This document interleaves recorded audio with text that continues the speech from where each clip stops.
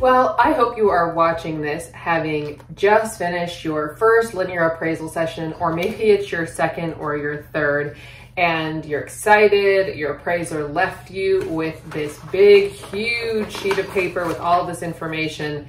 But now what do you do? Um, so I know it's very easy to focus on those last four letters and the final score, which is what we see in everyone's marketing and Facebook posts. Um, but really, if you're not looking at the other 20-ish columns of information and data about your animals, you are gonna be doing yourself a really big disservice. Um, this can tell you, uh, these scores can tell you uh, how your animals individually are doing, how your herd is doing, and more importantly, help you figure out what areas you need to focus on and help you decide who to breed your does to in the coming season and years. Um, so let's first start with the first step. So the very first thing I personally need to do with my linear appraisal data is I need to shrink it down. Um, this is very hard to read. This is a very big sheet. You know, you can try to like get a ruler and look at one line at a time. Um, but it this makes my head swim. I can't like really deal with that much information at once. So the first thing I'm gonna do is actually shrink down, quite literally shrink down my data. I'm gonna make myself a spreadsheet um, with that exact same information, but I am also going to add more things to it for my own benefit. I like to add things like uh, breaking, separating out the bucks and the does. Um, I like to put in exactly how old the animal was on appraisal day. I put in the lactation number. That's all good relevant information. I also um, add comments um, if there were oral comments that the appraiser mentioned during linear appraisal that isn't necessarily in this quantified score, but something the appraiser said that could be helpful. Um, I'm going to add in um, that information too. So just however it's best for you, even if that's just writing it out on another piece of paper, um, just find a way to make this uh, data a little bit more digestible to you than these huge pink sheets. Um, this also is something nice because I can then compare year to year by maybe adding additional tabs um, to this spreadsheet. So physically smaller, yay.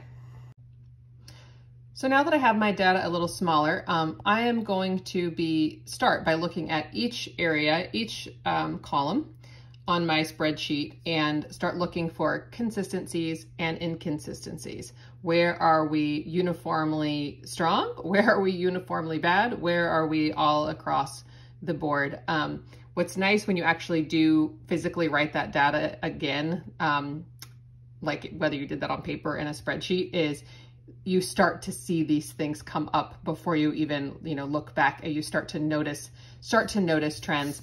Um, one area where uh, we are consistently strong in our herd is in our rear legs.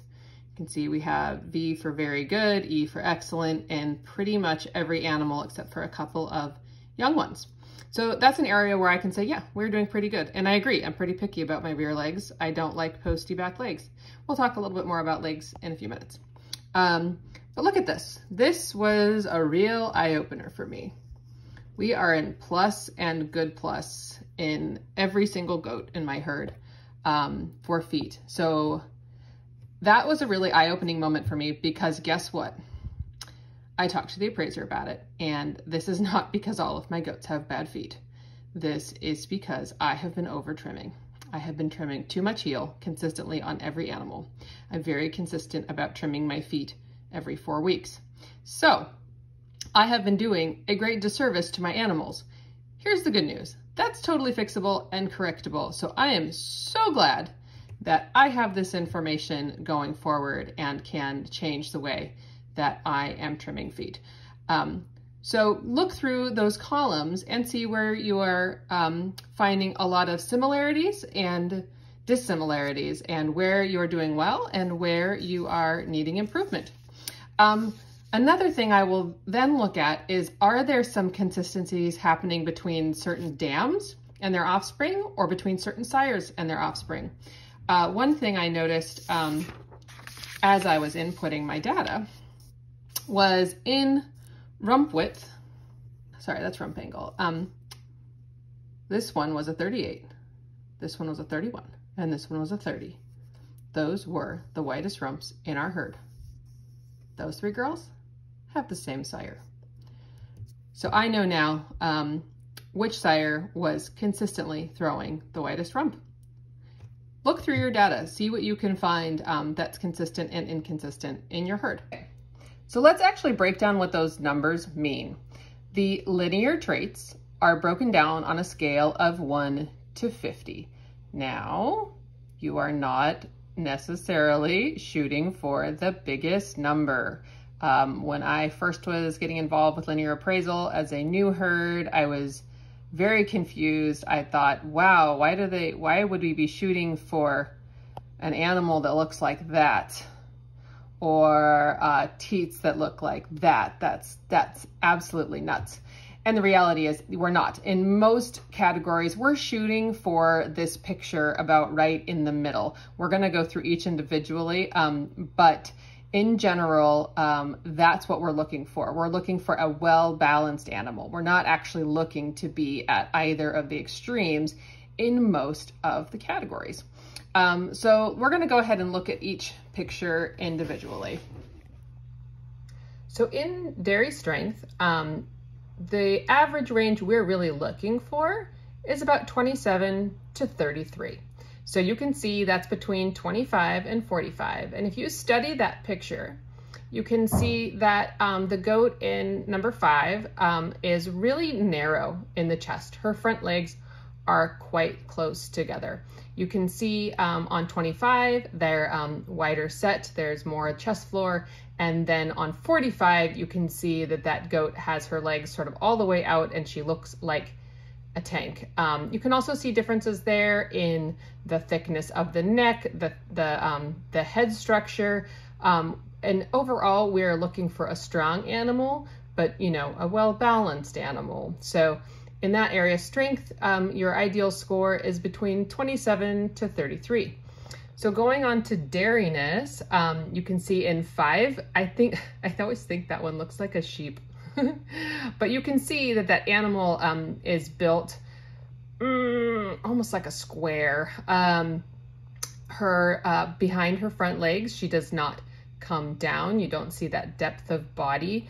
Um, yeah, her she really does look like a square to me. Uh, you can see that um, her back uh, doesn't have her ribs kind of go straight down. Um, that's more like a meat animal.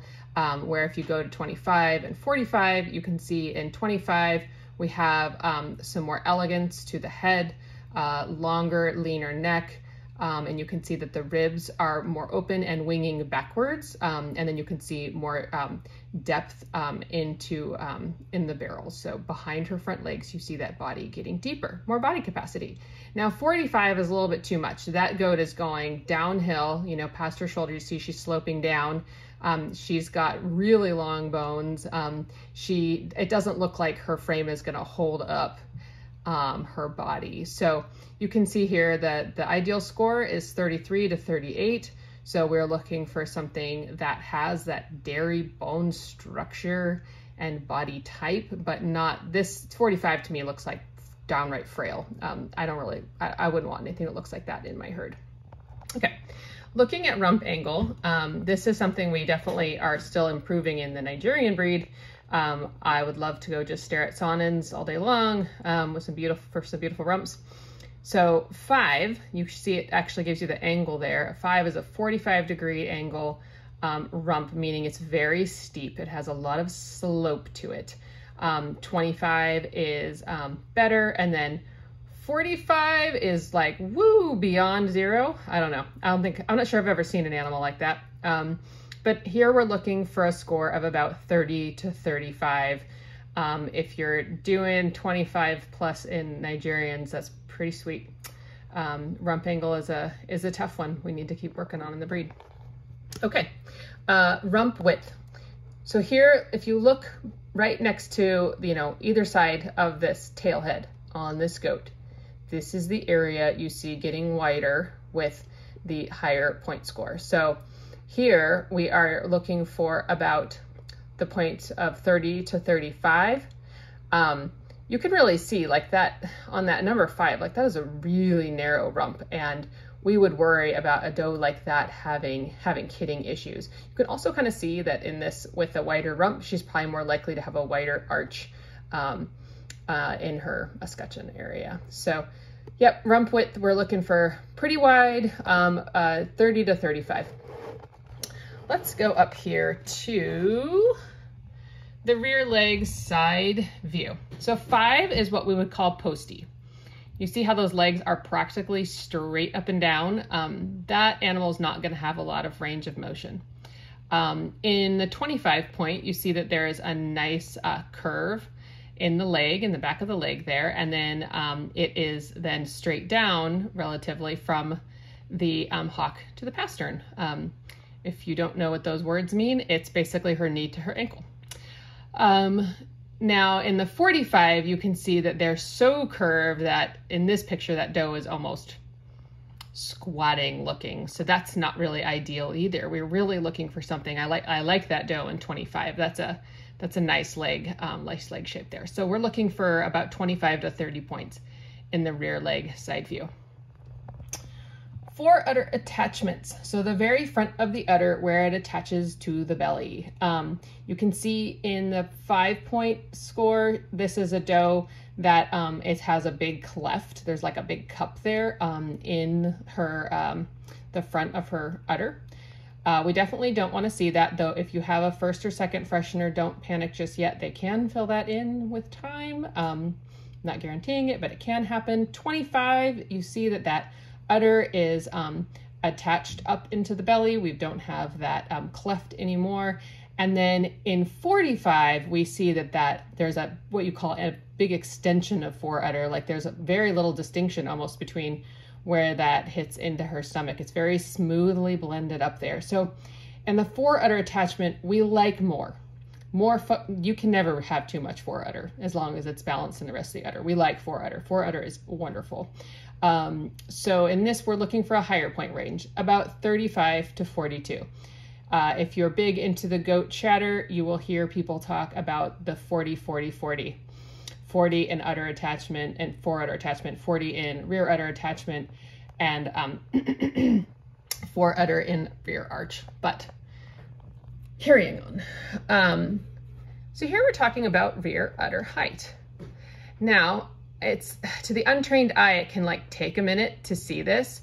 So in rear udder, what we really want is an udder that is as high up into the vulva as possible. We want as little fleshing. So you see how much flesh there is here and then a little bit less and then almost none.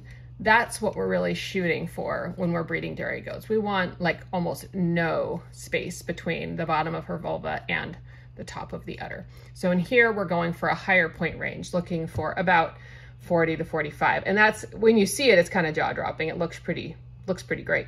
Um, so um, looking at the arch, that has to do with the shape here.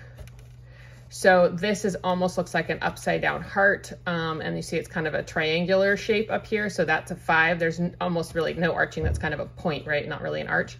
Here's like a nice medium sized arch. And then this is like a full on U, like big, big arch. So um, again, we're looking for a little bit higher arch score here. About 32 to 40 would be a great score for udder arch. The medial suspensory ligament is very important. It is what holds up your doe's udder for its lifetime. Um, if a doe does not have a good MSL, she's not staying here in my herd. Um, I actually quite like this, this 25 doe has a pretty nice little uh, uh, medial suspensory ligament there. You can see this one is just completely absent of any. Um, I've had a couple animals like that in the past and you can just tell that udder is um, floppy and it's not gonna stand up for very long. It's gonna fall apart in their life with use. Um, and this is like a super tight one. Um, so in this area, we're looking for about 28 to 32 points, um, but I would probably be happy with a 25 too. But I love a nice, me a nice tight medial suspensory ligament. Okay, looking at udder depth. So some people get fooled thinking a big udder is better. Well, a big udder is only better if it's actually well attached uh, with uh, good teat placement, big, mm, big is good, but only if it's only if it's done correctly. Um, so this doe, you could see that this, if you had a doe with this type of udder, yeah, she's got a lot of capacity, but it's hanging past her hocks, which we do not want. Um, and you can see it's lacking in that fore udder, which was actually right over here. If it was more up, her fore udder was more up here, that would have brought her whole udder up and she would be have a better better udder. But she doesn't, not in this picture. So we are not looking for five. So 45 is actually where the udder is so highly attached um, up here and then up here that we actually don't have much milk in there. Um, I have a doe like this who actually has more capacity than it looks like. She doesn't look like she has a lot because um, her udder is so snug up on her body, but um, she does actually carry a fair amount of milk in there anyway. So we're looking for something like this. We are looking for an udder with um, a third of it in front of her leg, third of it behind her leg, and a third of it protruding out behind her leg. Looking for an udder depth of about 22 to 27, so right around that picture in the middle. Um, in teat placement, um, I see way too much of this. Teats outside on the leg. That's not healthy for your animal. It's really not fun to milk. Um, now, this is kind of nutty on a whole nother spectrum. I've never seen it. If it really exists, I'd love to see a picture of that. Um, but um, what we're really looking for in teat placement is a teat that's centered right in the middle of each cleft of the udder. Um, that would be a placement of 25. We consider that perfect teat placement we are looking for the score of about 25 to 30. We don't want that, and that's nuts. So we're shooting for about 25 in our teat placement. So teat diameter, um, this one's different. Um, so, and I have to say your personal preference is gonna come into play here. Um, if you have hand issues, um, muscle issues, uh, and you just need big milkable teats, guess what? You're probably going to want something like that in your herd because maybe you have arthritis and this is a goat you can easily milk. Um, but uh, ideally, what we're shooting for here is about 18 to 28. So we're actually not looking for something as small as that, not something huge, though definitely there's a place for that. Um, we're looking for something that has um, a decent width to it, um, not too big, not too small.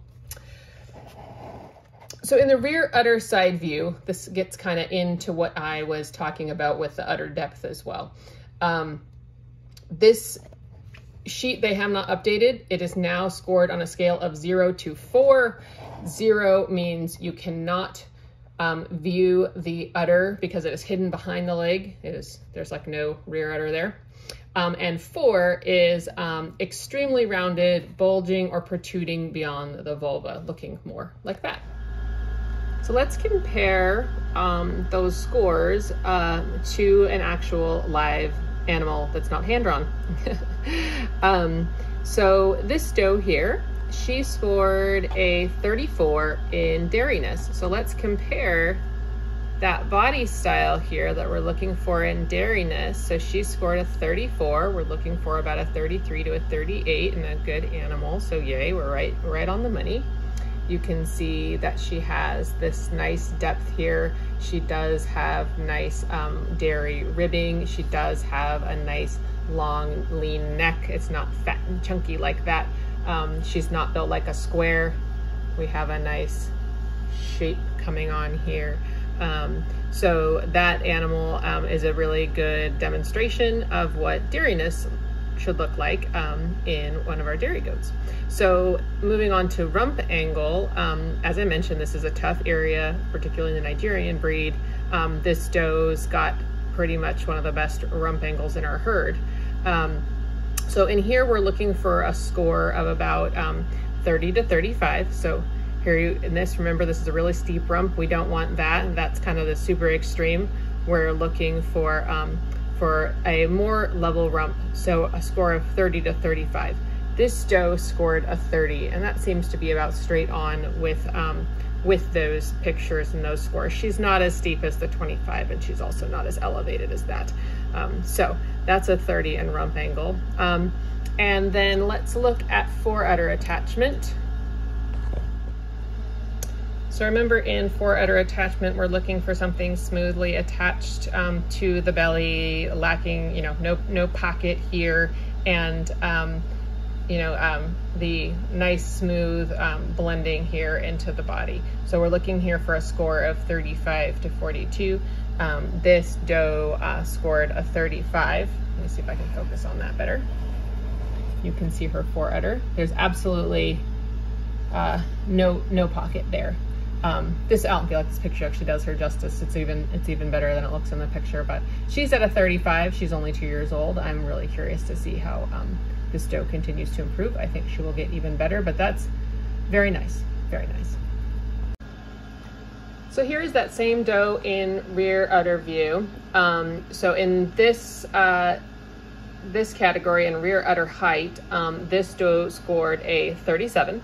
So remember here, we're looking for about 40 to 45, which is way, way, way up there towards the vulva. I think this doe is actually quite good. There's the bottom of her vulva and there's the top of her udder. There's not much fleshing there, but there's a hair of room for improvement. Um, now, if we're looking at her rear udder arch, um, this doe scored a um, 29 and we are looking for something a bit more. We're looking for more of a 32 to 40. And I feel like that's fair. If you see the shape here, we're not the full sort of heart there, um, but we aren't to that big, huge U shape yet. So um, that doe is a 29 in arch. Um, and then looking at the medial suspensory ligament, that's the little rubber band that holds up the udder. Um, this doe scored a 30 in medial and we're looking for about a 28 to 32. So this is actually quite nice. You can see how nice and snug that is, but also it's not insane. Um, you can even see her teats there have very nice teat placement towards the center um, cleft of each half of the udder. So let's look at another doe that has a lot of similarities, but you can start to see these minor, minor differences. Okay, so this doe scored a 28 in dairiness um, when we were looking for something more like 33 to 38. You can see she's got um, a little bit um, thicker of a neck. She's in general just a bit meatier, more of a goat. Um, she does have um, a ton of body capacity and depth. She is a nice doe, um, but she's maybe not quite as elegant and dairy um, as we might like to see. Um, in rump angle, you can see pretty clearly here she has more steepness to her rump. You um, she received a 24 in rump angle, and you can see that she almost perfectly matches that picture at 25. Um, so that's a that's a fair score. So she's got a um, rump that's on the steeper side. However, um, this doe has really nice extension of fore udder. Um, it comes pretty far forward onto her belly and has no pocket whatsoever. Um, I love how well attached this doe's udder is in the fore and um, her kids have that same fore udder.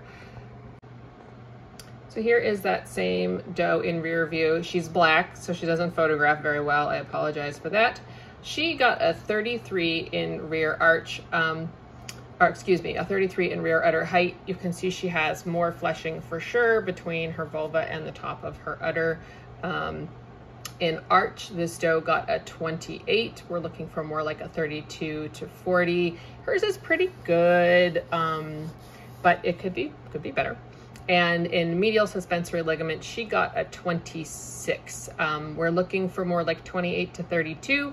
I would like to see more definition right there. I would like that tight to be a little tighter and up there, um, which would cause those teats to look even a little bit better. Um, so um, a nice doe, um, but those are things that could be improved and make her just that much better. Now the second half of our linear appraisal score sheet, um, or report as it's called, um, is scored in uh, these categories. So our structural categories are P for poor, F for fair, um, now acceptable is now G for good. Um, so that needs to be updated on their paperwork. Um, plus means good plus, V is very good, and E is excellent. Um, so those are somewhat more straightforward, I feel, than the, um, the linear traits, which are a bit confusing, but let's maybe look at a couple examples of those. So unfortunately, ADGA does not give us um, a nice little set of drawings for those structural traits, um, but I can tell you how um, a couple of my animals scored. So this doe that we've been looking at, she received a plus in head. The um, appraiser said they wanted to see more width all the way through the muzzle. She has a nice big width on the top of her head, but it gets rather narrow um, at the muzzle and nostrils. Um, in shoulders, this doe got a V for very good. Um, shoulders are really tricky and really complicated and a side profile picture is not going to tell you everything about how shoulders are put together, um, unfortunately. Uh, in front legs, this doe got an E for excellent. Um, in rear legs, this doe also got an E for excellent. Now in feet, she just got a G for, you know, good. Um, this is one of those areas where I learned that the, I have been trimming these this doe's feet incorrectly, and she does have some widespread toes, particularly in the front, though often that goes along with being very dairy. This doe received a V in back. Um, the, this doe has the unfortunate disadvantage of having a big dark splotch right in a really unfortunate place on her back, but her back could be stronger. I would like to see it be more level. Um, she received a V in rump and um, in her final score in general appearance, so that means her overall put togetherness, she received a very good, dairiness, excellent, body, very good, and mammary E for excellent, um, and a final score of 90. So now the question is when I'm thinking about who am I going to breed this buck to this year, um, she's got a lot going right.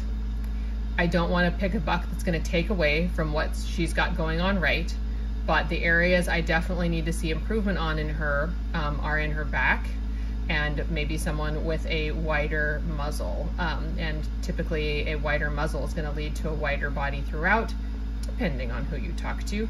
Perhaps also looking for someone who is a buck who also excels in feet um, to help um, improve those feet in future generations. Now looking at this other doe's structural traits, and I apologize, uh, we are well over 100 right now and our fans are working overtime. It's kind of loud here but bear with me. So this doe got an E in head. This doe has a really wide um, muzzle, very big nostrils. Um, she does put that on to her kids. Uh, love it, looks fabulous. Um, so she has an excellent in head. Uh, in her shoulder assembly, this is our only doe who also has an E in shoulder assembly. That, those are great qualities I hope to continue to hold on to and pass on to her kids. This doe has a plus in front legs, a V in rear legs. I like that her rear legs look very much kind of like that drawing with that incurving at the thigh, straight down from the hock to the pastern.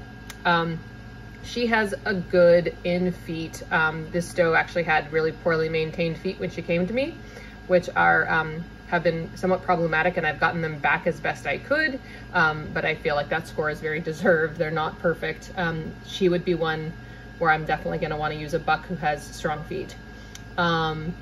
She has a plus in back and a plus in rump um, with a final score of V in general appearance, an E for excellent dairiness, an E for excellent in body, and a V in very good for mammary system for a final score of 88.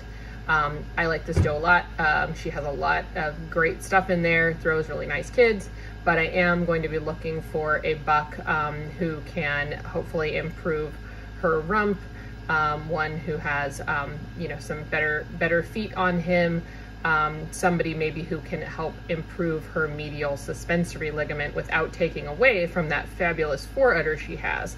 Um, but I love this uh, doe's depth of body. She's she's a really really strong doe. She throws really nice kids. So um, we'll be choosy, picky about choosing her her match this year. So I hope you learned a lot from this tutorial. There's always more to learn, but I hope this gives you a good jumping off point for evaluating your scores and looking at how you can improve your breedings going into the future. I also want to take a moment to remind you that these tutorials are brought to you by our amazing Patreons, who are people just like you who love goats and just want to get better at their, what they're doing and learn more. Please also do share our tutorials with anyone you think would benefit from this information.